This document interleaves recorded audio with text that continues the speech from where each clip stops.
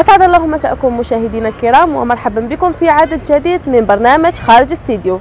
في العدد تاع اليوم راح نعرفوا واش يقول المواطن الجزائري للجيش الشعبي الوطني. نشكر كافة الجيش أطراف الجيش الجيش الشعبي الوطني وعلى رأسهم القائد الأعلى للقوات المسلحة آه، آه، السيد الرئيس تبون وفريق ألو... شنقريحة.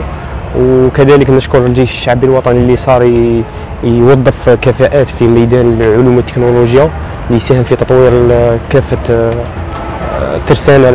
وال- والعتاد العسكري.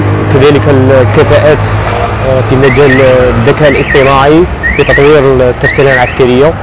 ونوجه كلمة لكافة الزواولة اللي في الجيش الوطني اللي راهم يعسوا في الحدود وساهرين على راحة المواطنين. آه، شوف إحنا دوك رانا نشوفوا المواطنين راهم راهم يدوروا بكل حرية. هذا نتيجة الجهود المبذولة على الحدود آه، سواء في الحدود من طرف حدود ليبيا أو الحدود المغربية اللي نعاني من كافة آه، أشكال التهريب والجريمة المنظمة. آه، نشكر كذلك آه، كافة ال- الأسلاك الوطن الأسلاك الأخرى اللي آه، راهي تتضامن في هذا المجهود اللي هي آه، في الأمن الوطني وكذلك الدرك الوطني.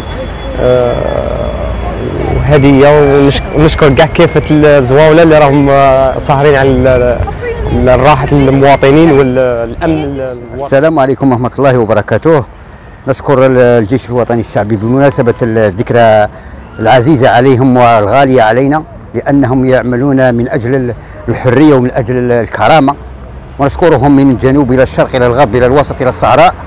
ونقول لهم حفظكم الله وستركم الله ودمتم أنتم تخدمون البلاد فنحن في عزة وكرام ون- ونتمنى لكم كل من كان يتمنى أن يلقى أهله بخير إن شاء الله يلقاهم والصيف كريم وكل عام والجزائر في عزة وكرام مهما الجيش واقف مع الشعب فالشعب مع الجيش والجيش مع الشعب. شوفي حقهم في قلوبنا.